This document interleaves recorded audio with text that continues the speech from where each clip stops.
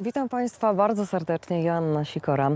Wiedzą Państwo, że w Australii żyje zwierzę, które wygląda na bardzo potulne, a jest niebezpieczne i w sytuacji zagrożenia potrafi zaatakować ludzi. To kangur.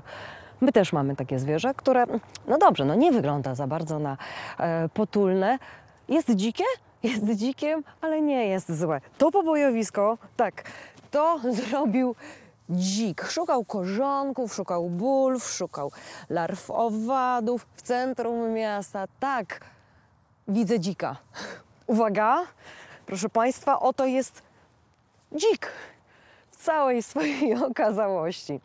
E, takie zwierzę, kiedy zobaczymy na swojej drodze, nie uciekamy, przechodzimy bardzo spokojnie albo zostajemy, nie ruszamy się. Dziki sobie po prostu pójdą. Tak jest. A w międzyczasie będą sobie szukać larw albo innych tam korzonków. Powoli osiadają mgły, a one sprawią, że dzikie zwierzęta i nie tylko będą o wiele mniej widoczne. Zobaczmy mapę satelitarną i dowiedzmy się, skąd taka, a nie inna pogoda. Małopolska znalazła się w zasięgu układu wysokiego ciśnienia. Jego centrum jest u zachodnich wybrzeży Morza Czarnego. Powietrze, które do nas dociera, jest chłodne, polarne morskie. Ono niesie ze sobą dużo wilgoci, a to sprzyja osiadaniu mgieł.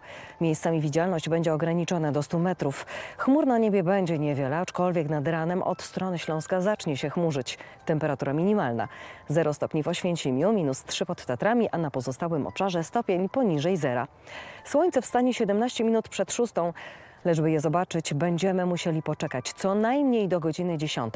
To przez unoszące się mgły. Pozostała część dnia ładna, słoneczna. Wiatr słaby, głównie zachodni. Na termometrach od 7 do 9 stopni. Zobaczmy kolejną mapę. Tutaj o uwagę proszę kierowców z całego województwa. Przy gruncie temperatura w wielu miejscach będzie niższa niż wskazuje meteogram dla Krakowa, a to oznacza, że mgły osadzą szać. Będzie ślisko. Ciśnienie wysokie, a pogoda nie powinna mieć wpływu na nasze nastroje. Pojutrze pochmurno, lecz bez deszczu. Temperatura maksymalna od 5 do 7 stopni. W sobotę wzrost temperatury o, stopień, na niebie przeplatanka obłoków i błękitu. Na koniec pył PM10. Norma w większych miastach będzie mocno przekroczona. Z naszych informacji, moich i dzika, to wszystko, a już za chwilę kronika. Temat, który jednak będzie się kręcił wokół tego zwierza. Prezydent miasta Krakowa postanowił wysłać listy do szkół z informacją i instruktażem, jak zachowywać się przy dzikach. Z naszej strony to wszystko i do zobaczenia.